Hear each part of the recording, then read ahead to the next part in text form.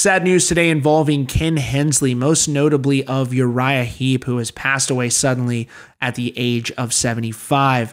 Uh, Ken had a number of different uh, hits as the main songwriter and the keyboardist of Uriah Heep. Songs like Lady in Black, Easy Living, um, and they had much success through 1970 and 1980 uh, with that band. His brother Trevor shared the sad news on a statement which was released earlier today. I am writing this with a heavy heart to let you know that my brother Ken Hensley passed away peacefully on Wednesday morning. His beautiful wife Monica was at his side and comforted Ken in his last few minutes with us. We are devastated by this tragic and incredibly unexpected loss and ask that you please give us some space and time to come to terms with it. He'll be cremated in a private ceremony in Spain, so please don't ask for information about a funeral. He has gone, but he will f- never be forgotten and will always be in our hearts.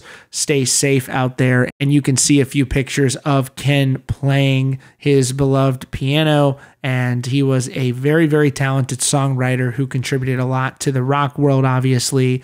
And uh, he'll be dearly missed said born Kenneth William David Hensley on August 24th, 1945.